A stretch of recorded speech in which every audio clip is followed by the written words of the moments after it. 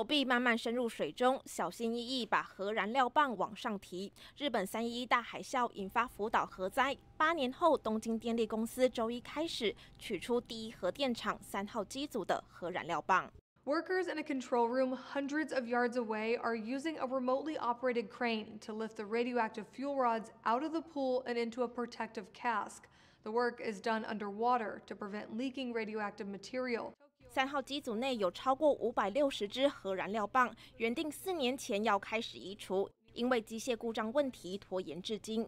整个工程必须相当谨慎，预计二零二零年才能移除三号机组内全部的燃料棒。Workers will then move on to the cooling pools near two other reactors. There are about a thousand fuel rods in those pools. It's all part of a massive cleanup plan TEPCO has said could take up to 40 years to complete. 另外，上周三福岛第一核电厂所在地大熊町的部分地区首度解除撤离指示。避難指示の解除はゴールではなく、あくまでも復興に向けたスタートであります。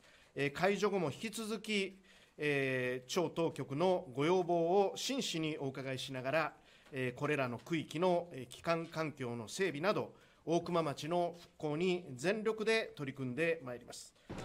而在这一次取出燃料棒动工的前一天，日本首相安倍晋三也前往视察核电厂，在听取废炉作业说明时，没穿防护衣和面罩，展现安全废炉的决心。大新闻黄静婷编译。